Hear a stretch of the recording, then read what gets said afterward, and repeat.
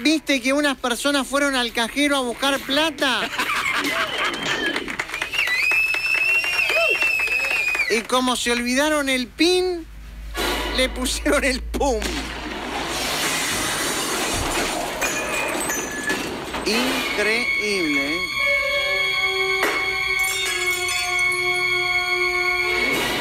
Ladrones hicieron explotar un cajero automático.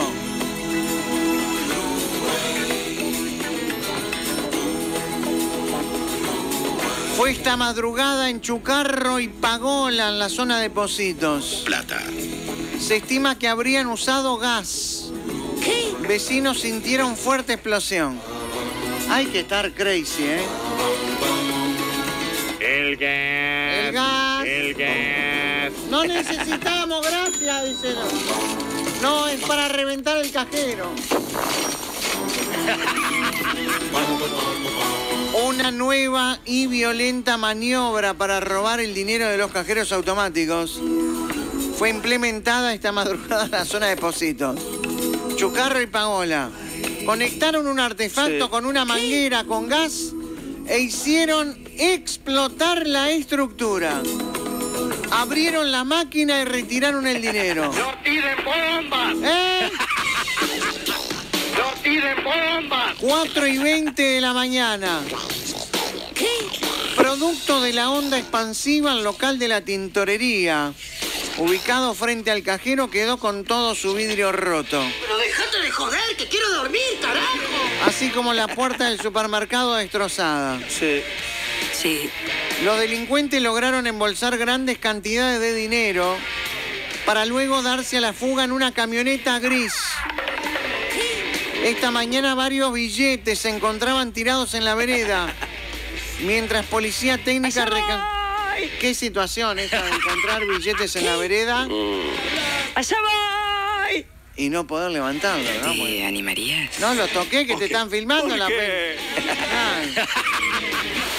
Por los daños sufridos, el supermercado de al lado del cajero Sí. permaneció cerrado al menos durante la mañana de hoy.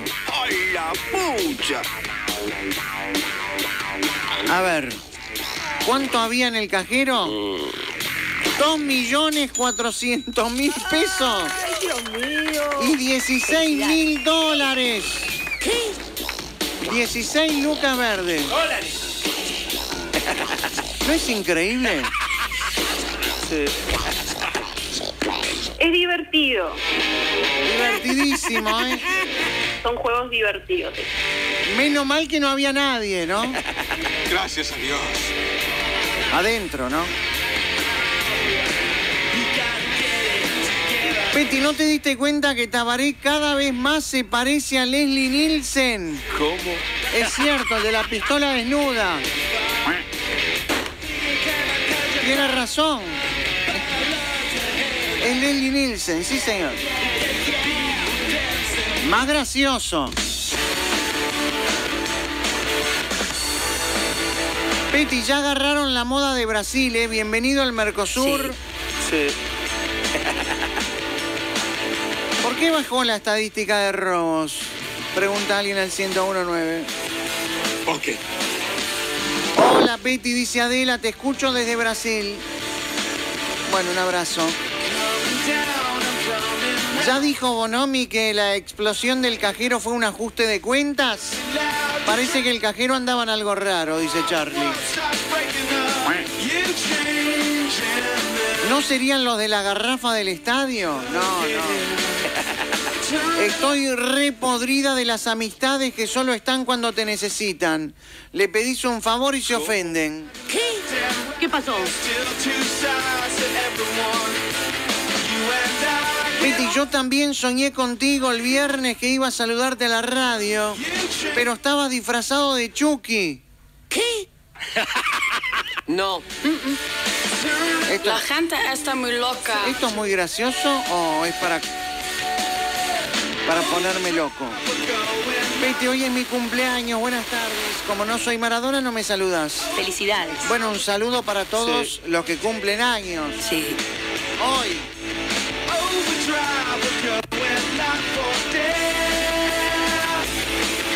Petty, por la explosión fueron en dos minutos un patrullero.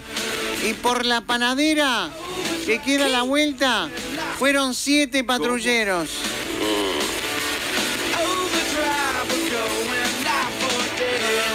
Petty, lo de los 16 mil dólares es mentira. Yo trabajo en el banco y el Banco Central no deja cargar más de 10 lucas.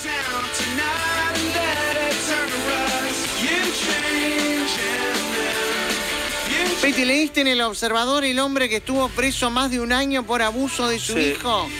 Y ahora el tribunal corrigió el horror del juez y quieren aumento.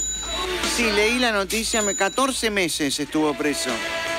Y yo pregunto, ¿el juez, sea, merece algún castigo por esto? Ca- Tiene que ir en gana. 14 años, 14 meses, perdón. Tiene que ir en gana. 14 meses adentro. Por una prueba aparte arreglada por la chica que trabajaba en la casa. ¿Cómo? Petty, estaban buscando petróleo en el cajero. Sí. Sí. Petty, eso en el cajero de Sarandí Grande no pasa. Porque estuvo todo el fin de semana sin plata.